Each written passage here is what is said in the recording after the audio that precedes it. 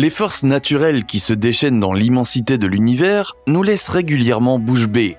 Des collisions et des explosions gigantesques se produisent sans cesse dans l'espace, dont l'intensité diffère sensiblement de celle des spectacles qui se déroulent sur notre planète bleue. Récemment, des chercheurs spatiaux renommés ont même réussi à capturer sur caméra la plus puissante détonation connue à ce jour dans notre voisinage galactique, ce qui a déclenché l'explosion cosmique, à quoi elle ressemblait en détail et quels projets futurs permettront de mieux comprendre les effets de tels phénomènes, vous pouvez le découvrir dans la vidéo suivante.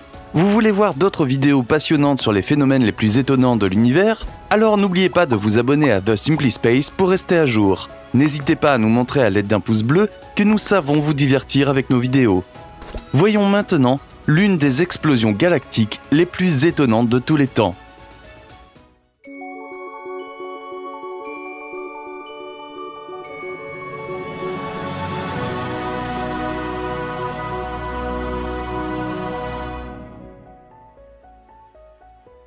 La détonation la plus puissante de l'espace. Il y a quelques années, à plus d'un milliard d'années-lumière de la Terre, un spectacle époustouflant et d'une grande portée s'est déroulé, suscitant l'enthousiasme des scientifiques terrestres. Jamais auparavant les astronomes n'avaient réussi à observer une détonation galactique aussi puissante. Ce phénomène naturel a prouvé une fois de plus à l'humanité que des forces immenses sont en réalité inhérentes aux événements de l'univers. L'origine de cet événement fascinant était en même temps le dernier chapitre de la vie d'une étoile. Alors que le corps céleste étincelant est finalement devenu une supernova et s'est transformé en un trou noir, cet événement hautement captivant a été accompagné d'une explosion massive de rayons gamma, plus précisément, il s'agissait d'une combinaison de flashs de rayons X et de rayons gamma si intenses qu'ils pouvaient même être observés depuis la Terre. Les experts du synchrotron à électrons de Hambourg, qui ont fait cette observation unique, ont été profondément impressionnés par cette détonation cosmique. Avec l'aide du télescope spatial Fermi et du satellite de recherche Swift de la NASA, les chercheurs ont finalement réussi un grand coup. Les enregistrements de ces dispositifs techniques très complexes ont été à leur tour complétés par les informations fournies par le système stéréoscopique à haute énergie. Il s'agit d'un réseau de télescopes Cherenkov qui observe les rayons gamma cosmiques depuis 2002. Bien que l'origine de l'explosion se situe à 1 milliard d'années-lumière de notre planète, l'étoile se trouvait encore pratiquement dans l'arrière-cour de notre voisinage galactique. L'importance de l'observation dans la constellation de l'Eridanus dans le contexte scientifique global devient évidente lorsqu'on examine les détails étonnants de cet événement naturel. Il semble que la détonation possédait le rayonnement le plus énergétique de tous les sursauts gamma connus à ce jour. En même temps, elle a été accompagnée de la plus longue rémanence de rayons gamma connue à ce jour par les experts. La distance relativement courte entre l'explosion et la Terre a permis aux scientifiques d'obtenir une vue incomparablement détaillée des événements. En revanche, les sursauts gamma observés précédemment se situaient en moyenne à 20 milliards d'années-lumière de notre foyer terrestre. Une intensité inégalée. C'est en août 2019 que le sursaut sensationnel, baptisé GRB 190-829A, a été découvert pour la première fois. Si l'on suit les explications du chercheur Andrew Taylor, les scientifiques ont été aux premières loges pour assister à cet événement incroyable. Les experts ont pu observer l'intense rémanence de la détonation pendant plusieurs jours. Les énergies des rayons gamma émis, quant à elles, devaient éclipser sans effort tout ce qui a été connu à ce jour. Parallèlement, la constellation spatiale entre la Terre et la mort stellaire a permis aux experts d'analyser en détail le spectre de la rémanence cosmique. En fait, les scientifiques se sont intéressés à la distribution des énergies des photons dans une gamme d'énergie très élevée. Au cours des mesures, les chercheurs ont réussi à déterminer que le spectre était de 3,3 téraélectronvolts. En d'autres termes, cela signifie que les énergies photoniques correspondantes étaient un trillion de fois plus intenses que les photons de la lumière visible. Cette incroyable intensité est également due à la faible distance spatiale entre notre Terre et le point de départ de la détonation. Des explosions comparables dans des galaxies plus lointaines sont toujours dues au fait que les photons énergétiques éjectés entrent en collision avec la lumière de fond sur le chemin à travers l'espace et sont partiellement absorbés. Heureusement, ce n'était pas le cas du sursaut gamma GRB 190-829A, qui, soit dit en passant, n'était que le quatrième événement de ce type observé.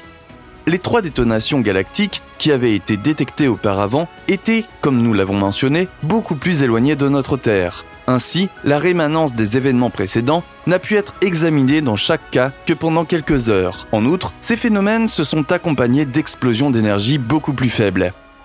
Quels sont les mécanismes qui génèrent les composants de l'émission? Selon le consensus des experts, les détonations de ce type comptent parmi les explosions les plus intenses de tout l'univers. Lorsqu'une étoile en rotation rapide atteint le dernier chapitre de sa vie, une onde de choc extrême est finalement générée, alimentée par une partie de l'énergie gravitationnelle libérée. L'onde de pression correspondante peut à son tour être détectée par nos instruments de mesure terrestres sous la forme d'un sursaut gamma. Ce processus impressionnant peut être divisé en deux phases différentes, alors que la première phase, qui se produit rapidement, ne dure parfois que quelques secondes ou minutes, la phase de rémanence, au cours de laquelle l'événement s'estompe doucement, prend beaucoup plus de temps. Dans le cas du dernier sursaut gamma, les chercheurs ont toutefois découvert un détail remarquable qui incite les experts à considérer les détonations de ce type sous un jour totalement nouveau. Selon eux, les théories antérieures supposaient encore que les deux composants éjectés au cours de l'explosion étaient produits par des processus distincts et indépendants. Cependant, les parallèles frappants entre les émissions de rayons X et de rayons gamma enregistrées ébranlent désormais cette théorie établie. Même si la thèse des passés reposait sur la création des rayons gamma par un mécanisme unique, il semblait encore peu probable que même les détonations les plus intenses dans l'espace puissent accélérer suffisamment les électrons pour provoquer directement l'éclatement des rayons gamma. Ceci est dû à l'équilibre naturel de l'accélération et du refroidissement des particules dans un scénario donné, tel que celui d'un accélérateur de particules. Une découverte importante L'analyse approfondie de la rémanence de GRB 190-829A, qui a duré environ 3 jours, a permis de constater que les deux composantes de l'émission, à savoir les rayons gamma et les rayons X, s'éteignaient pratiquement simultanément. Le spectre du rayonnement gamma mesuré a également montré des similitudes frappantes avec la tendance d'évolution du spectre des rayons X. Prises dans leur ensemble, les données enregistrées indiquent clairement que, contrairement à une croyance répandue auparavant, les deux émissions n'ont pas été créées par deux mécanismes distincts, mais en fait par un seul et même mécanisme. En effet, un scénario dans lequel les rayons X et les rayons gamma seraient produits simultanément par coïncidence à partir de deux origines différentes et se désintégreraient ensuite à l'unisson serait extrêmement improbable. Toutefois, pour étayer davantage les informations recueillies, d'autres résultats de mesures de nature comparable sont nécessaires. Stephen Wagner, porte-parole du High Energy Stereoscopic System, a déclaré que les espoirs concernant cette question reposent sur les instruments de mesure des générations suivantes. Selon lui, les instruments plus complexes de l'avenir devraient apporter la preuve définitive que les sursauts des rayons gamma et X ont une origine commune. Et cela pourrait effectivement réussir dans un avenir proche. À l'heure actuelle, les chercheurs travaillent d'arrache-pied pour achever le télescope Cherenkov-Array au Chili, Projet futur pour l'étude des sources de rayons gamma. Le télescope Cherenkov-Array, ou CTA en abrégé, est un projet à grande échelle qui vise à élargir considérablement nos connaissances en matière d'astronomie gamma. À cette fin, la construction de 10 télescopes Cherenkov de pointe est envisagée, qui seront disposés en deux grilles extensibles. À l'avenir, les flashs Cherenkov dans l'atmosphère terrestre seront étudiés plus en détail afin d'obtenir des informations importantes sur les sources galactiques de rayons gamma.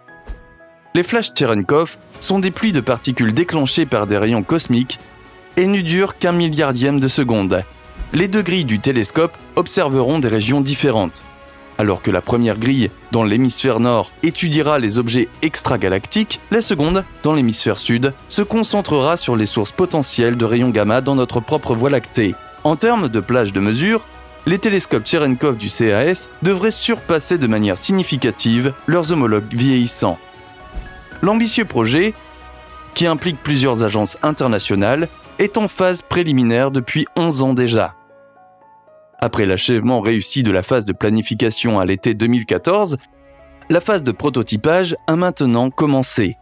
Mais comment fonctionne en détail l'étude du rayonnement gamma? Investigation des rayons gamma.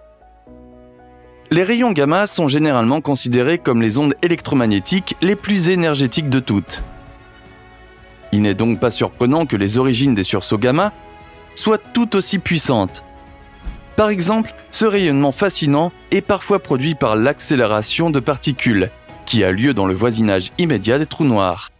Mais les forces créées par les étoiles à neutrons en rotation incomparablement rapide sont également à l'origine des rayons gamma. Pour observer les émissions correspondantes, les experts utilisent des équipements techniques spéciaux. Dès que les rayons gamma atteignent l'atmosphère terrestre, ils y déclenchent les pluies de particules susmentionnées, qui deviennent visibles sous la forme de flashs de lumière bleue. Les instruments de mesure ultramodernes des scientifiques sont capables d'enregistrer les éclairs atmosphériques et de fournir des données importantes. Sur la base de ces informations, les experts peuvent à leur tour déduire d'où provient le sursaut gamma correspondant et quelle est l'énergie qui lui est inhérente. Notre voisinage galactique regorge d'accélérateurs de particules naturelles qui provoquent l'émission de rayons gamma. Une fois terminé, le CAS étudiera des milliers de détonations de supernovas, de systèmes d'étoiles binaires et autres, et sondera ces phénomènes stupéfiants avec une sensibilité sans précédent. En outre, les instruments rechercheront également des preuves de l'existence de la matière noire et contribueront ainsi à élucider l'un des plus grands mystères cosmiques de tous les temps. Que pensez-vous de cette étonnante détonation galactique? Faites-nous part de vos réflexions, commentaires et suggestions dans les commentaires. Jetez également un coup d'œil aux autres vidéos passionnantes de notre chaîne, auxquelles vous pouvez accéder en cliquant sur les images dans le générique maintenant. Merci d'avoir suivi cette vidéo, prenez soin de vous et à la prochaine fois.